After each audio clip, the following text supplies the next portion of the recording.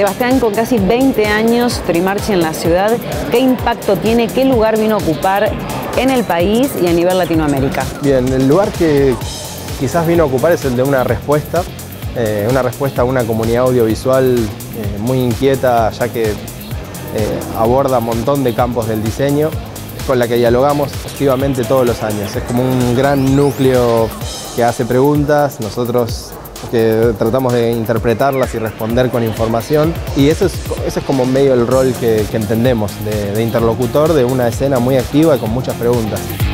Vinieron unos 16 conferencistas internacionales, eh, bueno, y nacionales también, 90 eh, expositores a la parte de, exposición, eh, a los que muestran su obra.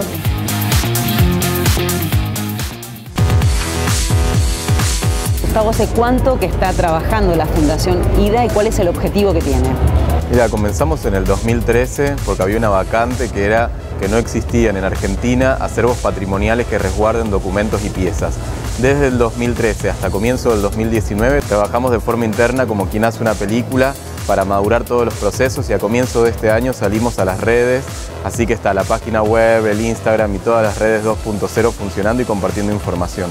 IDA es Investigación en Diseño Argentino y básicamente la institución se encarga de trabajar en las diferentes áreas del diseño. Entonces, por ejemplo, abordamos todo lo que es gráfico y de comunicación visual, eh, producto diseño industrial, textil indumentaria, hace poco se incorporó diseño arquitectónico y la parte abstracta que es formación, teoría, gestión, difusión, que es decir que son las acciones que rodean al diseño pero que no tienen una tangibilidad como un objeto o una cosa final.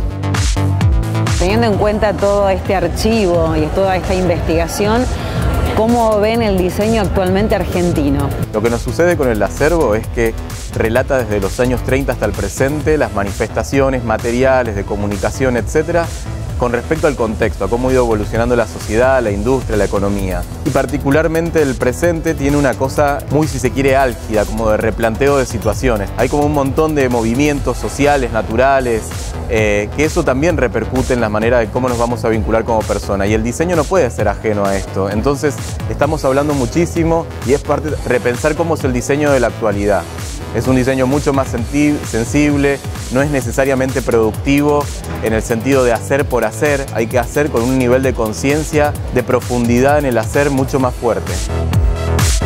¿Cómo pueden contactarse para formar parte también de este Museo del Diseño que ojalá sea pronto una realidad? Hay una página que es www.fundacionida.org. Hay muchas personas que tienen piezas, objetos o material importante para narrar la historia desde diferentes lugares. Nos interesa que no sea una historia centrada en Buenos Aires, sino mucho más amplia, entender el territorio argentino y las migraciones, de cómo Argentina colaboró con procesos internacionales, en Barcelona, en Italia, en donde fuese. El diseño puede colaborar en esta idea de un futuro mejor o un presente mucho más afectivo para un futuro mejor.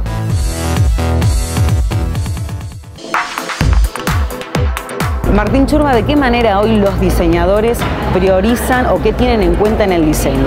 El contexto creo que se impuso como una variable ineludible, es decir, si bien en algún momento el diseño como que te daba como esa posibilidad de pensarte vos y el diseño. Creo que hoy el contexto se impone. Yo creo que hay que pensar más en sistemas que no estén pensados desde una cosa estática, sino que estén pensados desde las dinámicas de interacción con el entorno tus colecciones de alguna manera marcan un antes y un después en lo que es el diseño. Sí me gusta mucho pensar que somos inspiración para el entorno, pero porque de alguna manera dialogamos con el entorno. Donde más me estoy parando es en esas instancias en las cuales alguien me dice, che, qué bueno tal cosa, y que yo le contrapregunto, ¿y qué es lo que te gusta de tal cosa? Es muy fértil porque además de que nos intercambiamos información, muchas veces corroboramos que la fantasía no esté ocupando un lugar de información.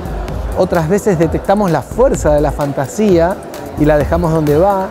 Y otras veces generamos interacciones. ¿Cuál es el mensaje para estos, estas nuevas generaciones de diseñadores? Que se junten entre ellos, que estudien y piensen qué es lo que está pasando, que se informen de qué es lo que ha pasado y que se abran al diálogo, porque básicamente las construcciones próximas están en esas interacciones intergeneracionales. ¿Qué situación está atravesando el diseño y qué representa hoy el diseño en la sociedad? El diseño ganó un poco de atención desde lo conceptual también, como que por años el diseño se entendía como una cuestión más estética, una cuestión quizás más ligada eh, con las cosas lindas, eh, y de a poco se está entendiendo el diseño como una manera de pensar también.